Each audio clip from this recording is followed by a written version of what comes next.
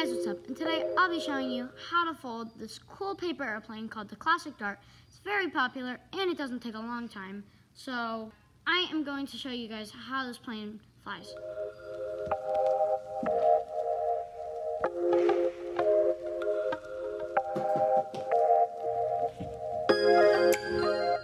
Alright, so now I'm going to be teaching you guys how to fold this paper airplane called the Classic Dart.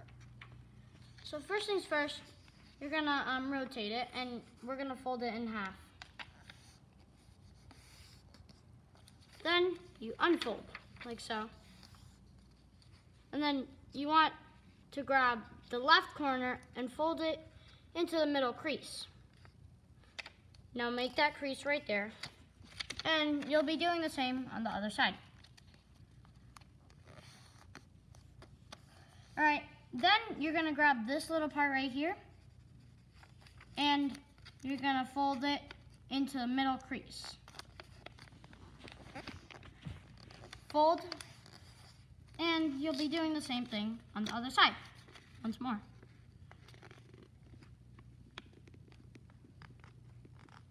Now it doesn't want to, it doesn't have to be perfect, but if you want the plane to fly really well, then you should try to be as accurate as possible.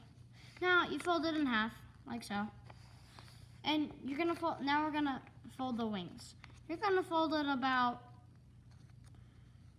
about um, an inch and a half away from the, from the tip of the nose.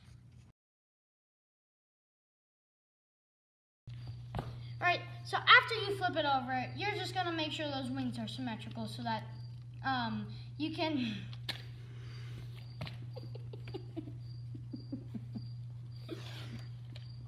Sorry, guys. All right.